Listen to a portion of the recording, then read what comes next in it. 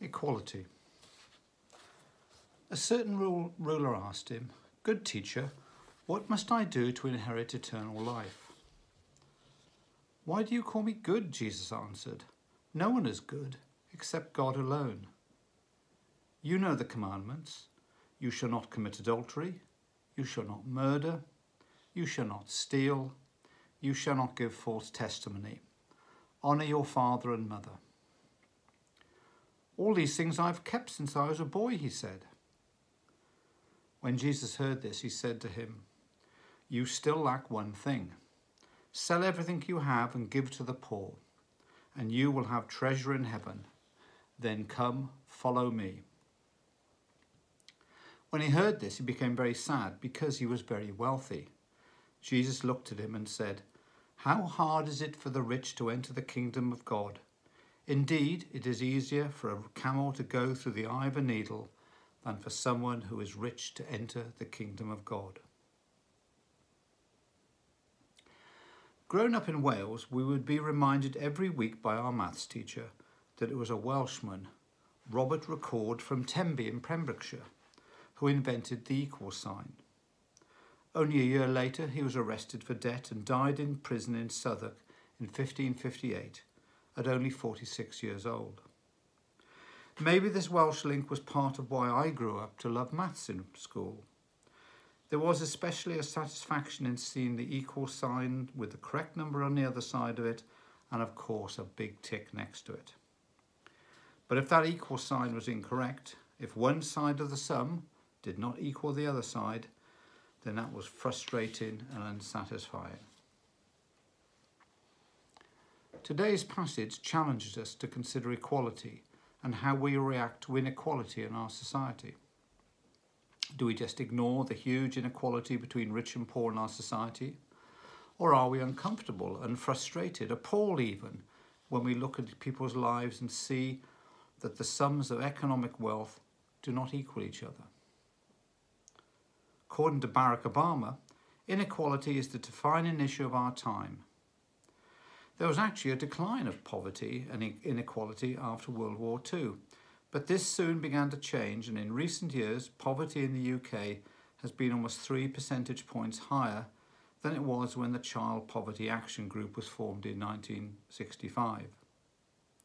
From the 1980s onwards, the gap between those with the greatest wealth and those with the least grew wider and wider. By today, Hierarchies that were accepted only a generation ago are now thankfully denounced. Divisions between gender, race and sexuality. A hierarchy of rich and poor, though, is seen as perfectly acceptable and to some even sensible. As Christians, we need to ask how Jesus might view the present situation. Today's passage is a huge challenge to us all. Perhaps, like the rich man in the story, there is one thing we lack if we take seriously Jesus' talk of the kingdom of God, then we need to reassess our society's obsession with money, and we must take seriously the needs, cares, and concerns of others, not merely our own. After all, in the Gospels, the kingdom of love is a kingdom of parity and equality, as many of Jesus' parables demonstrate, not least the parable of the workers in the vineyard. Even in worldly terms, research shows that a move towards equality improves society generally. Countries with better social and economic equality see a higher quality of well-being, socially and individually, than more unequal countries. In other words, a more equal society sees everyone's life improving, both rich and poor. Crime, ill health, obesity, depression and anxiety are all lower in countries where the equality gaps are smallest, irrespective of overall wealth. The truth is, wrote Richard Wilkinson and Kate Pickett in their book, The Spirit Level Why Equality is Better for Everyone, is that both the broken society and the broken economy resulted from the growth of inequality. In our passage today, Jesus challenges a young man to replace the kingdom of Mammon in his life with the kingdom of God. This is such a difficult step to take that both the young man himself and countless others down the centuries have failed to live out his call. In fact, historically, scholars have, whether consciously or not, even watered down Jesus' revolutionary challenge.